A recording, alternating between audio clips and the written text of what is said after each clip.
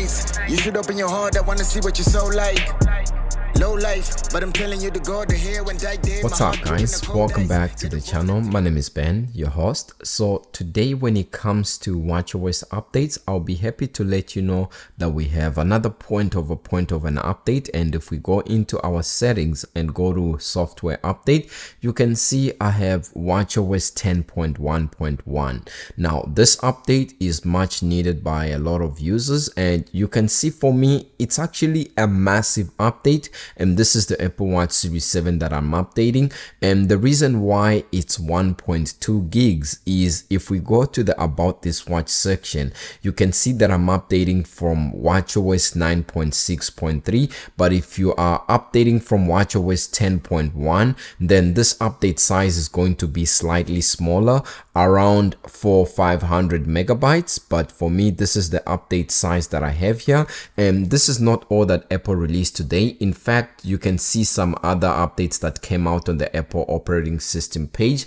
iOS 17.1.1 iPadOS 17.1.1, we also got macOS 14.1.1, and of course, watchOS 10.1.1. Most of these updates, I do cover them here on the channel, so if you want to get to know your device and get to be able to see the new features and changes, then definitely do subscribe. So I'm going to go ahead and update my device, and then we're going to see what's new in watchOS 10.1.1. So just like that, and we are now up to date one of the first new things that you see once you update to watchOS 10 from any other versions of watchOS could be watchOS 9 or watchOS 8 is this new hello screen this is similar to what we see from iOS when a new iOS device is being set up or has been reset. And from here, for me, since I was coming from a previous version of watchOS, you can see that I get this new hello screen.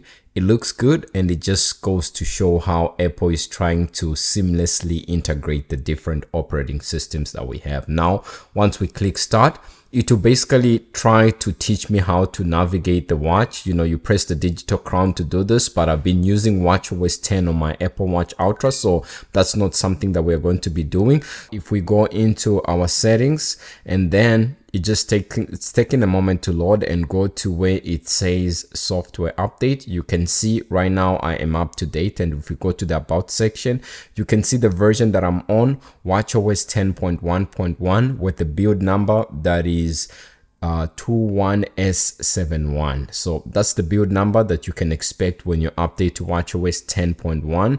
And now in terms of what's new when it comes to this update, WatchOS 10.1.1, for most people, there isn't going to be much. And in fact, if we go to the Apple release page where they talked about the security releases, because like at the start of this update, Apple mentioned that this update provides important security and stability updates. So so if we go to where it talks about watchOS 10.1.1, you can see right there that it mentions that this update has no published CVE entries. That means there are no released notes that are publicly available from Apple that have to do with common vulnerabilities and exposures. But that doesn't mean that Apple hasn't done anything in the background. In fact, there is one thing that we know that Apple addressed with this update and it has to do with the battery and for this you have to go into your settings. And then if you go to the battery section especially for people that are already that, that are coming from watchOS 10.1 there was an issue where the Apple Watch would heat up when charging. The Apple Watch battery would basically last a few hours. Some people were complaining that with a new Apple Watch Ultra 2 it was only lasting for about three hours after like a maximum charge to 100%. Others were complaining that this was basically heating up, which wasn't very good for your battery. It leads to a lower battery health maximum capacity. But for this device this is the apple watch series 7 my maximum health capacity is on 87 percent. I still have a few more percentages to go. And the apple care plus just expired recently. But for this device and with this update it fixes a major battery issue that's here.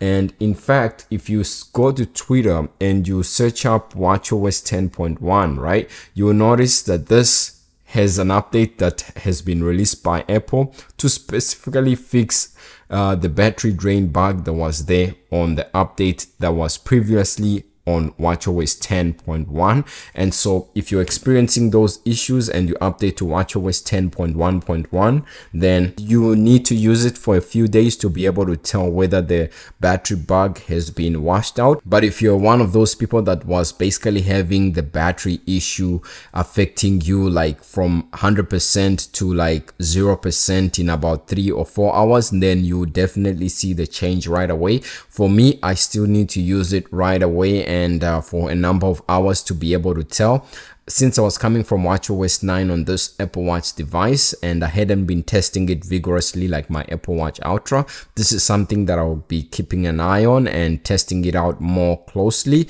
But other than that, this is how this update is for me. With regards to some other updates that we might see pretty soon, you know, I'll be happy to let you know that WatchOS 10.2 is currently in beta. So if we go to the Apple developer page right here, you can see that the developer page of uh, WatchOS 10.2 has not been updated in a while. It was rushed released on October 26, so we did skip a week, all thanks to Apple's uh, Scary Fast event that released new Macs. But I would expect a WatchOS 10.2 beta uh, 2 or, or the next beta in this coming week and by latest maybe next week Tuesday. But yeah this is something that uh, I thought I should just share with you. Nothing major no new features or changes within this update. It's just a bug fix update that's here to fix stability and uh, some security patches in the background that Apple isn't disclosing. And of course, if you're experiencing some of the battery issues that have been mentioned or that a number of users were re-experiencing on the previous WatchOS 10.1, then WatchOS 10.1.1, according to Apple, is here to resolve those battery issues. So this is how the update is for me. If you like this video, leave a like and subscribe and I'll see you in the next video. Peace. I'm flexing, I'm litty cause life is a blessing. I'm currently counting my blessing, ascending for heavens. I'm headed away from the universe. I'm coming back, not assuming things. Came to the touch, I'm a sinner, but not a beginner. Though every day is a beginning. I'm critically breathing, I'm dusty, I'm kicking my engines. You nasty, I speed on your misery home, you. Misery home, you. I never liked you, and you never liked me. Stay warm. But nothing contagious is my anger. Running around